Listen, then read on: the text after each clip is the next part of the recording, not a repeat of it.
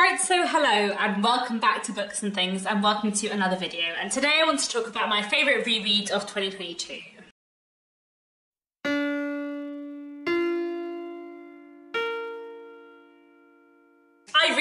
Love rereading books. I feel like it's always a really fun, rewarding, valuable thing to do. Um, and I do like to reflect on like what my best rereading experiences have been of a year, as well as my best reading experiences in general. So there are six books I wanted to talk about today, which I reread in 2022, which I had a really good rereading experience with. So these are, I'm saying, my favourite rereads of 2022, but that doesn't mean they are my favourite books that I reread in 2022. That means they're like the books that had the most like significant improvement on a reread for me in 2022. For example, I reread all three of Wuthering Heights, Pride and Prejudice, and North and South in um, 2022. Those three books are three of my favourite books of all time. They would all be in my top five books of all time. I think um, I love them hugely, um, but I'm not including them in this list because they were already massive favourites before I reread them. Um, what I want to talk about in this video today is books where I liked them or I didn't like them that much, and then I reread them and my appreciation of them increased a lot. Um, so books where I've had a really good rereading experience because my opinion has slightly changed, because that's one of the greatest things I think about rereading. So I'll start off at number six, um, where I wanted to mention The Battle of Life by Charles Dickens. I'm holding up this, um, which is a collection of his Christmas books, because The Battle of Life is one of his Christmas stories. So I reread this in December um, because I was going on a podcast, the Charles Dickens Brain on Fire podcast, hosted by Dominic Gerard. I'll link the episode that I recorded with Dominic Gerard down below.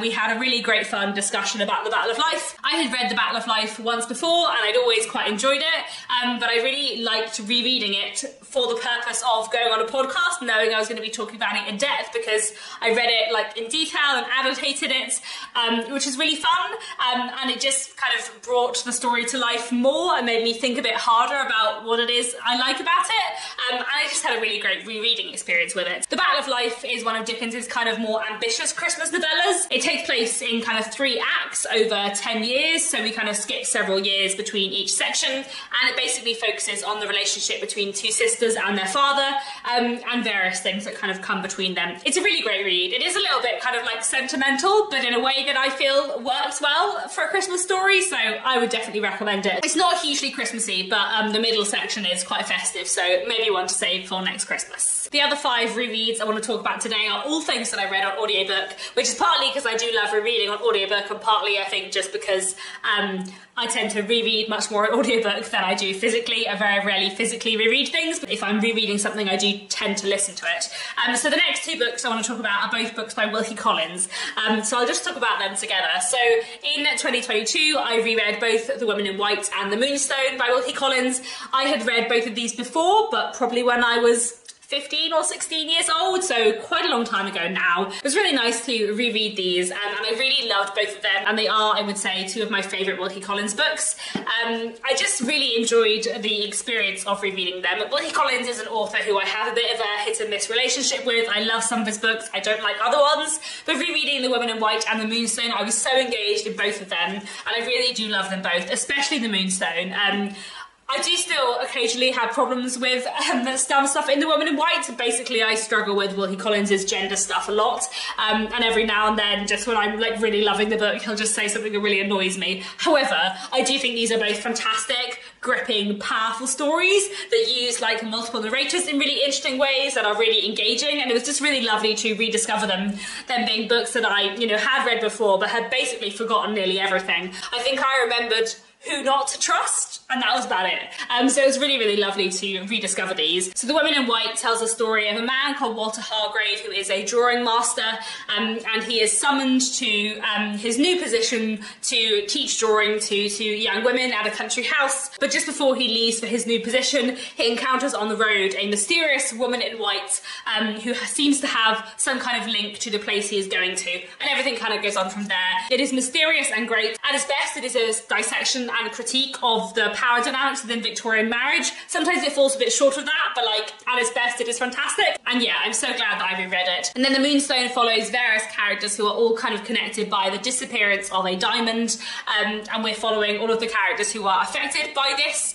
It's just a really fantastic story. I feel like the twists and turns of the plot, the characterization, the way Wilkie Collins uses multiple narrators, it's just great and I really, really recommend it. I love Wilkie Collins a lot and yeah, it was such a joy to reread both of these this year. At number three, I wanted to mention The Mayor of Casterbridge by Thomas Hardy. I reread this in Victober for our Victober group read and I just really, really loved it. I had read The Mayor of Casterbridge twice before but not for several years and I feel like I definitely liked it a lot more on this reread. I feel like previously The Mayor of Casterbridge had always been one of those Thomas Hardy books, a bit like Tess of the D'Urbervilles, where I really respected it and I thought it was great, but I didn't love it as much as a lot of other Thomas Hardy books. But I feel like rereading The Mayor of Casterbridge this time, I really did love it, and I feel like maybe one of the reasons why I didn't love it previously is because the characters are slightly harder to like. There isn't really like a character you're rooting for in the same way as in Far From the Madding Crowd or The Return of the Native or Desperate Remedies or, you know, Jude the Obscure or The Woodlanders. Like, I just felt like there wasn't someone I really was rooting for in the Mayor of Casterbridge. But reading it this time, I did feel differently, especially about the character of Elizabeth Jane, who I found really interesting. And I feel like Michael Henchard is just such a fantastically created character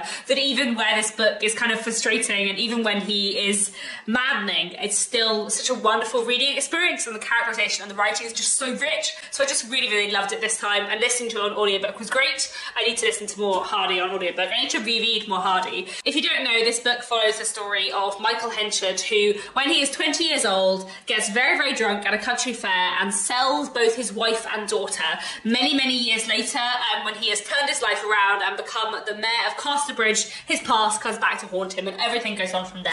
It's really, really fantastic, so rich and powerful, and what a book, really. It's so good. I'm so glad that I've reread this this year. At number two, my second best rereading experience of the year was The Pickwick Papers by Charles Dickens. Again, I didn't read this physically, I listened to it on audiobook um, as the first book in my Mega Dickens read along that I'm doing at the moment. For the Mega Dickens read along, we are reading all the works of Charles Dickens in publication order, starting off with the Pickwick Papers back in October and November, going right through to September 2024, reading all of Dickens's novels in publication order, which is just a delight so far. Um, and I really, really loved rereading the Pickwick Papers, and I really loved listening to it. I'd never listened to an audiobook before, though it was my third or fourth reading, and I just had such a great fun time with this.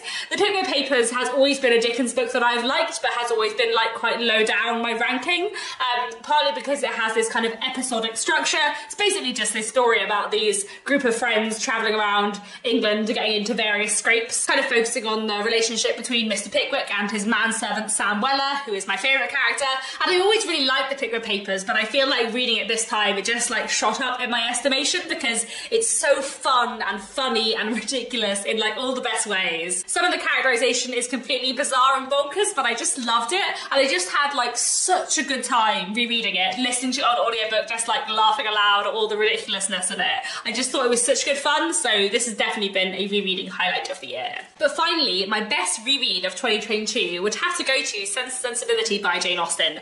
Sense and Sensibility has always been my least favourite Jane Austen. It has always been way down the bottom of the list. Um, I have read it multiple times because I love Jane Austen a lot, so I read her books. And the last time I reread Sense and Sensibility before 2022, it went up a little bit in my estimation. And I was like, okay, maybe I do like it more than Northanger Abbey, but it's still pretty low down the bottom of the list.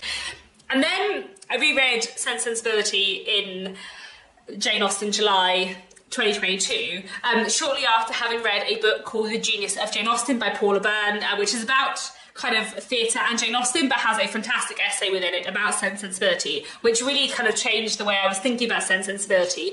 And then I reread Sense and Sensibility, and I just. I just fell in love with it. I made a whole video about this, which I'll link down below, because I don't need to go on about it for an age here. But I just fell in love with Sense and Sensibility this year in a way that I never had before. And suddenly, after multiple reads of it, I got it and I loved it and it was fantastic. And it's interesting because Mansfield Park is my second favourite Jane Austen, and I feel like I have thought for a long time. Everyone misunderstands Mansfield Park. It's so good. Um, you have to read it not as a love story, and then it's fantastic. That's not what it's about. And I have kind of felt like that about Mansfield Park for ages, but it never really occurred to me to read Sense Sensibility like that. Um, and I feel like just this read of Sense Sensibility you know, forgetting the love stories, thinking about the stuff that Sense Sensibility is really about, just focusing on the sibling relationships um, and the kind of character arcs. I just thought it was wonderful and just suddenly clicked into place. So, yes, it was so great. If you don't know, Sense Sensibility tells the story of um, two young women, Elinor and Marianne. They're sisters, and at the beginning of the book, their father passes away, leaving them and their mother and their younger sister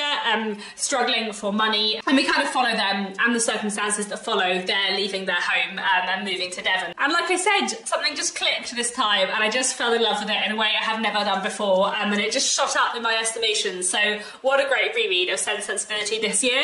Definitely my best rereading experience of the year. Massive kind of improvement in how I feel about Sense Sensibility, and it was just great. And this is why rereading is one of the best things ever. So that's all I wanted to say for today. Just a few books I wanted to mention that I had a really wonderful rereading experience with in 2022.